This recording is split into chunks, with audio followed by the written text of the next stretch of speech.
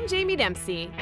And I'm heading to the heart of Luzon, the largest island in the Philippines.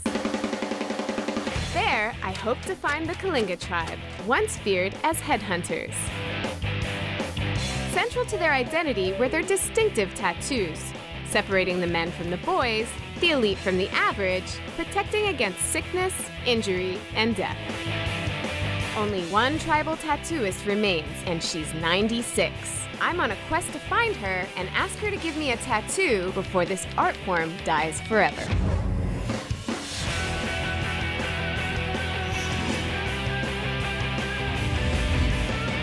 On this leg of my journey, I'm swinging by the country's economic center, Metro Manila, where I trick out a new ride. I really can't wait to take this on the road. Move up north to play Pick Cupid. Well, it looks like a match made in heaven to me. And get stuck in a rut. I can't get out!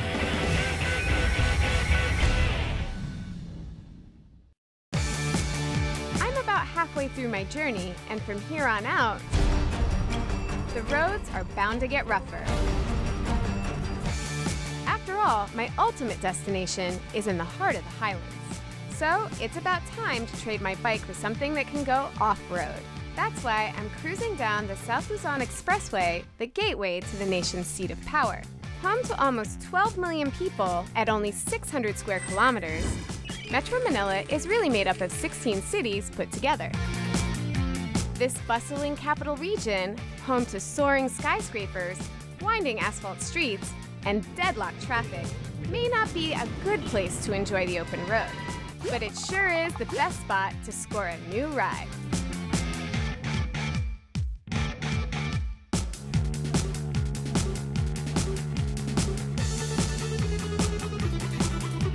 I made it to Ropali to see if maybe I can swap out my bike for something that's a little more all-terrain. Let's see what they've got. Hi, I'm Jaime. Hi, I'm Aldous. This is an awesome showroom. As soon as I walked in, I thought, okay, you guys are gonna have something that I'm looking for.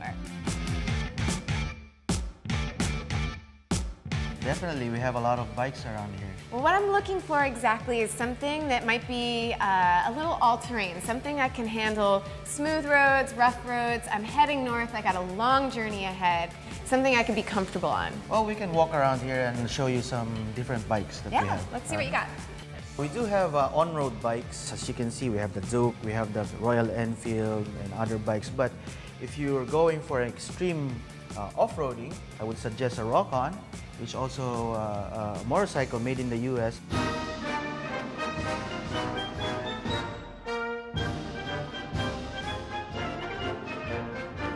I've never seen a bike like this before. It's really interesting. You mind if I sit on it? I don't mind. It's a two-wheel drive. The problem is this one is only off-road. It's pretty comfortable. But you're right, I do need something that can go on-road and a little bit off-road. So I think maybe this isn't the bike for me. All right, well, we'll show you one of uh, the best uh, uh, on and off-road adventure bike that we call it here in the Philippines. Yes, adventure bike. That's what I'm talking about. So we have here uh, what we call the Ural motorcycle. It is made in Russia since the 1930s.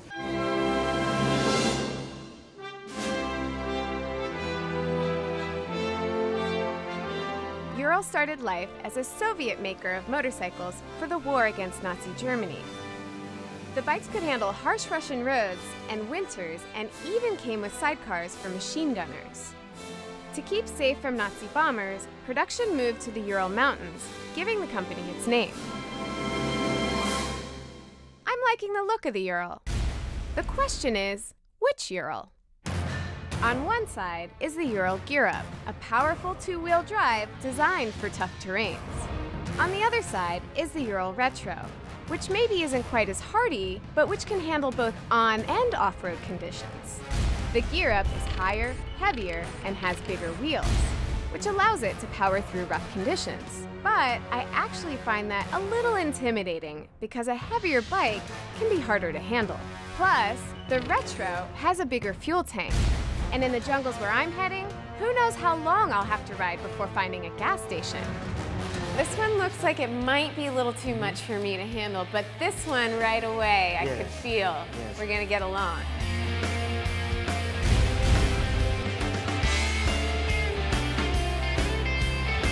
I really can't wait to take this on the road. This is really cool. I'm gonna get on it. All right. It's gonna be a little strange for me to switch from the automatic to the manual shifter, um, but I've got plenty of time to get used to it. Feels good. And there's tons of storage space, so I can collect lots of souvenirs. This is great. Well, I'm really excited to get this baby on the road. It's gonna be a lot more horsepower than I've been riding. It's gonna be a lot more weight, shifting, a lot more things to get used to. But I'm up to the task. I can do it. I love it.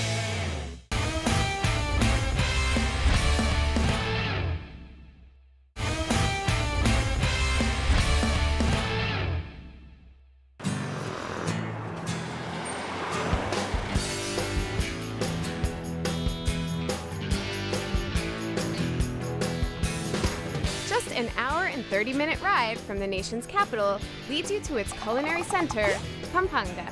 They say that this flatland is home to the country's best cooks. In fact, some of the country's most popular fast food chains started in tiny kitchens in this very province. And some of the country's most exotic dishes started in this province as well.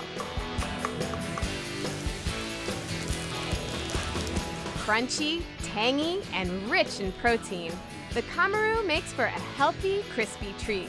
That is, if you don't mind eating rice field crickets. And they say you haven't really visited the Philippines if you haven't tasted this baby. A baby duck, that is. The balut, or duck embryo, is usually served hard boiled, but in Pampanga, it's sauteed to perfection. But among its clever culinary creations, sisig is the most famous. And even though I've tried the seafood version back in Batangas, they say you can't make this Pampanga original sizzling dish without pork. Pork face, in fact.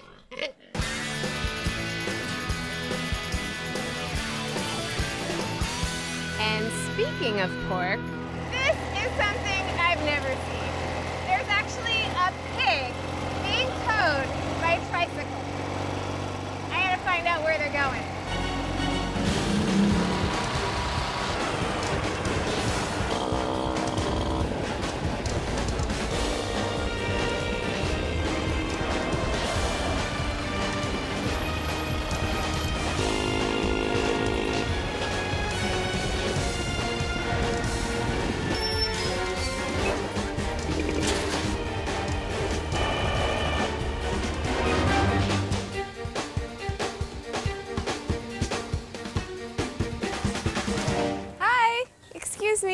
Hello, Hi, I'm Jaime. I'm Mario. Hi, Mario. I'm sorry, but I've been stalking you a little bit. I'm really intrigued by the fact that you're carting around a pig on your tricycle.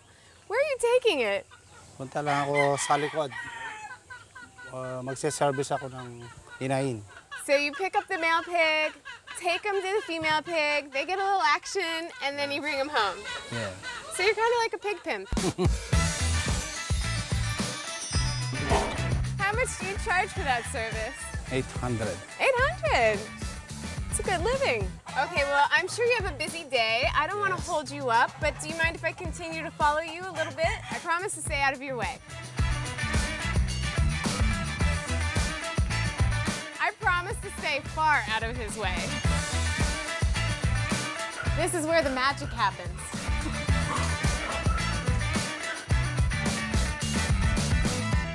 So we brought the male in, the female's here waiting.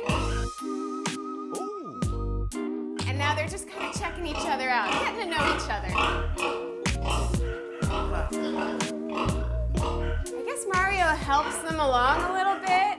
He pushes on the female, lets her know that this is time.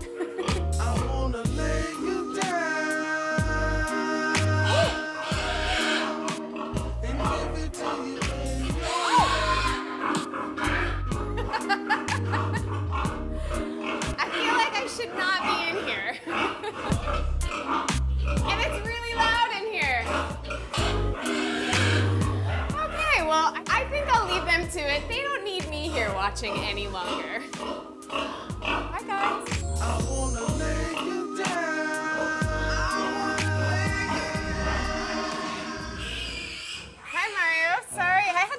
you. It's getting a little noisy. so was it good? A good match? Hindi, mas babalik na lang ako pinabukasan.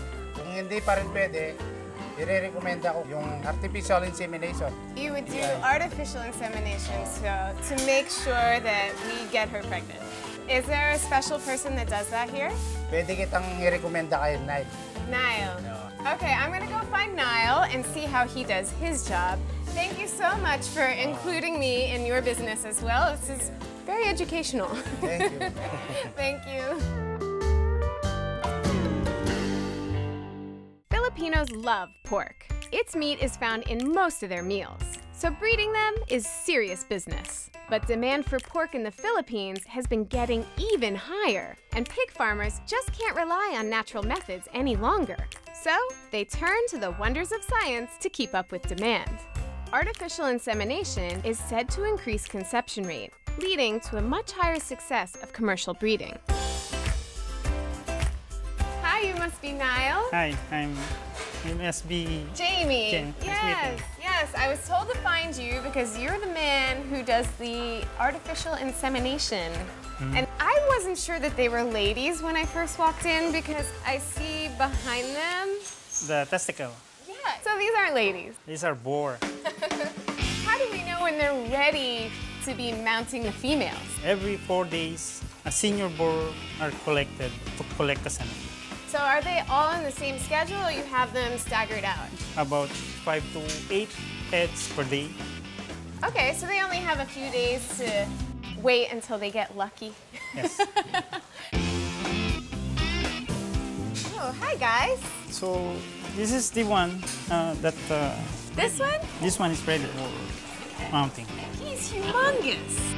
That's like the size of a truck. This is a matured boar and ready to fight. When you enter the ring, it's about UFC. Oh, you should say that. He can bite you. Oh gosh. This has to be a tricky thing to do because he's huge, he's strong, and you're gonna get in there with him? Yes, this is uh, this is the critical one. Technically, mounting is dangerous. Okay, uh, excuse me. Okay, be careful. This is the boar. We call it large white. Origin is uh, from the USA. From the US, just like me. It is about 300 to 350 kilogram. It's the boar mount, a sow. It's a steel horizontal that uh, look like uh, swine. Well, of course, uh, when he mount, you have to Stand back. stand back. I don't want to get in the way of this lucky pig. It's ready. He's familiarizing the dummy sow.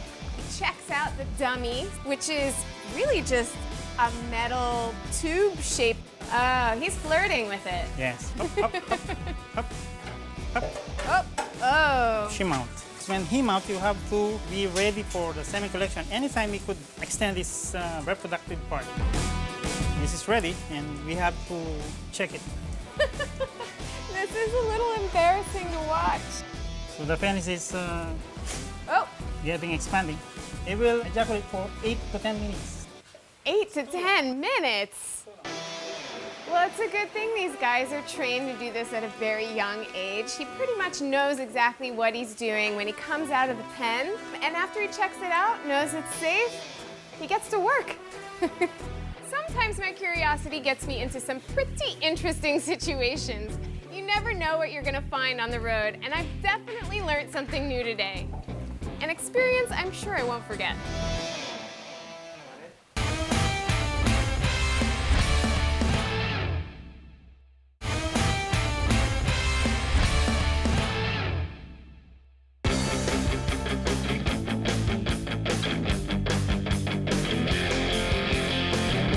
A 226 kilometer drive up north brings me to Nueva Vizcaya, the greenery of the Philippines.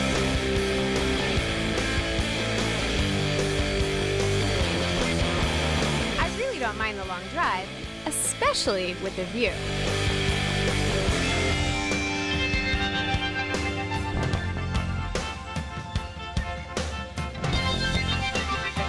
The Philippines is the eighth largest rice producer in the world, growing 2.8% of the world's rice supply. But the harvest doesn't come easy. Every grain has to be earned with backbreaking hard work.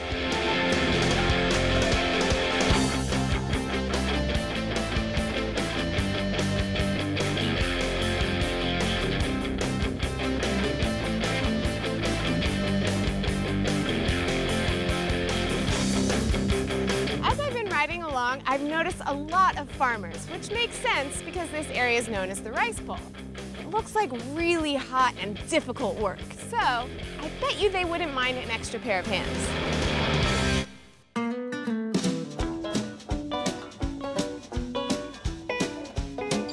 Filipino farmers use modern machines, but those can break down. So often, farmers turn to the carabao, or water buffalo, to lighten the farming load. In fact, carabaos are so valuable that they're the national animal of the Philippines. So I noticed back here this guy's plowing the field, and I'm wondering how often he has to do this kind of work. Two times. Every, Two times? And then he does this every week, every day? every week, every week. So two times a week. And what season is it? Is it all year round? Itong wala to itong May. Just in May? Yeah, yeah. So I'm in luck. it looks difficult. Is it hard? No. It's not hard? So maybe someone like me with no green thumbs can do it? Yes, kaya-kaya mo. All right, I don't know if I believe you, but maybe I can try it. Before you can plant rice, the soil first needs to be plowed.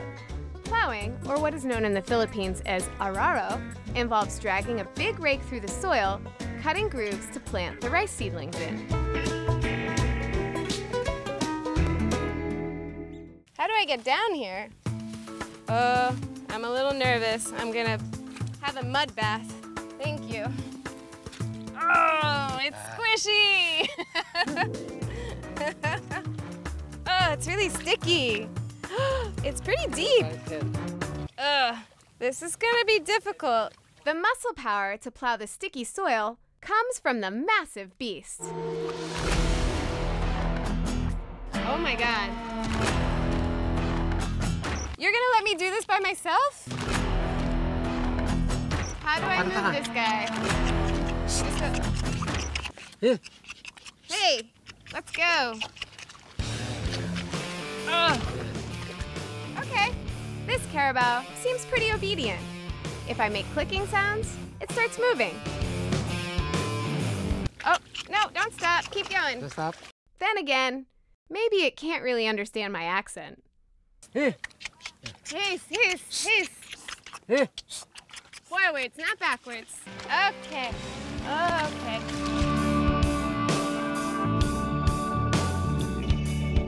Uh-oh. Hop. Oh, wrong. Get out of the tail.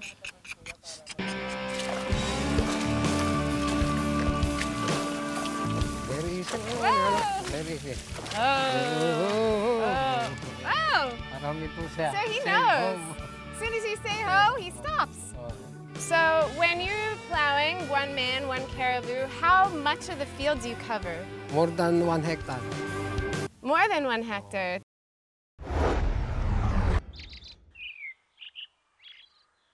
That sounds like a long, hard day. I don't have the time for that. okay, I'll try a little bit more. Okay.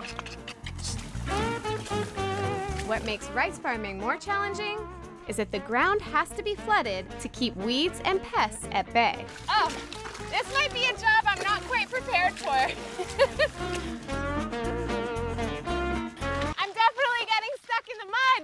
Woo! Oh. oh. Not too fast, buddy. Oh. Oh. Slogging under the sun and through the deep and sticky mud, rice farmers work up some serious sweat.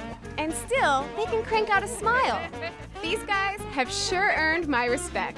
Now I see why they do this barefoot. And the boots I've borrowed are a little bit too big.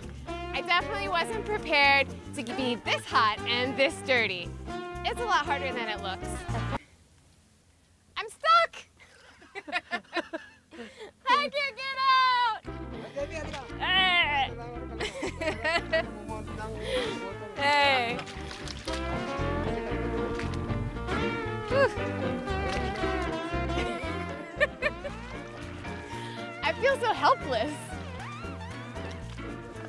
Ready? One, two, three. Ugh.